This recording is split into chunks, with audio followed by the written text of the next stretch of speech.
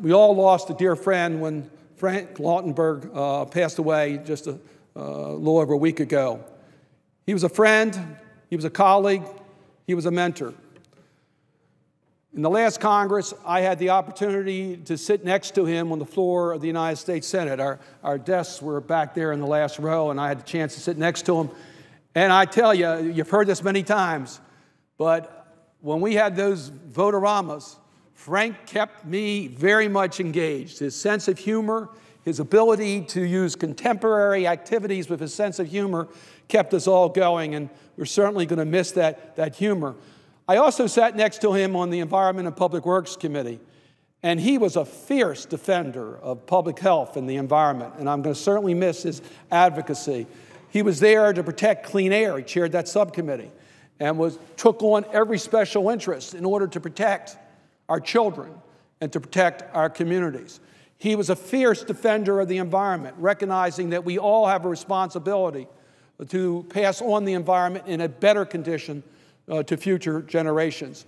His story is really a story about the success of America. Here we have a child of immigrant family who came to this country uh, and started new with virtually uh, no resources. And it's very appropriate that I'm talking about Frank Lautenberg on the day in which the immigration reform bill is on the floor of the United States Senate. I, I know that if Frank were here, he would be talking about his own family and his own experiences and why the passage of this immigration bill is so important for America's future.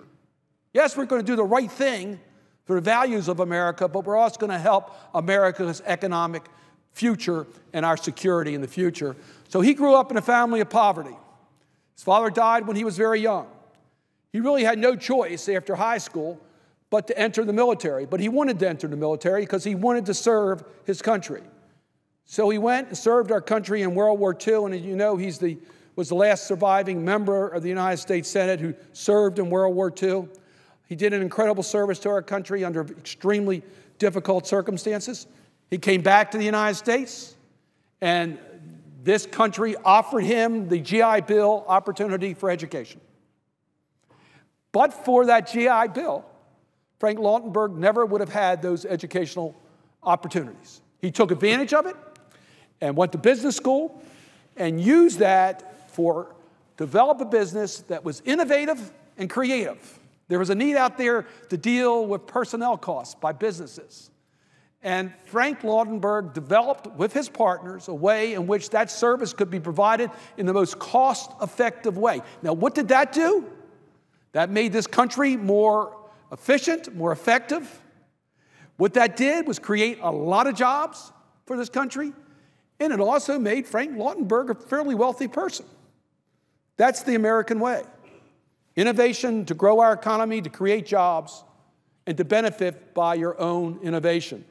Frank Lautenberg took advantage of that and succeeded in a great way. But he wasn't satisfied with that. He wanted to give back to his community. So he served his community, served his community in many ways. There's a whole list of community organizations that he provided leadership, his own personal time, in order to help people. He did that. Jewish Federation became a national leader to help communities all over the world. Frank Lautenberg did that as a private citizen because he thought it was the right thing to do. But then he decided he wanted to serve his community in a, in a, more uh, in a different way. So he ran for the United States Senate, got elected to the United States Senate, served two different terms in the United States Senate. He's the only senator that was both the junior and senior senator twice uh, from the same state, but he never forgot his roots. He never forgot where he came from, and he has a long list of accomplishments from helping refugees come here to America to helping keep air we breathe on airlines safe for our children. And the list is, is, is voluminous. We've already talked about it. He will be missed by all. Our thoughts and prayers are with Bonnie, who we all know so well, and his entire family, the people of New Jersey, and the people of this nation. Frank Lautenberg was an extraordinary person who made a lasting mark.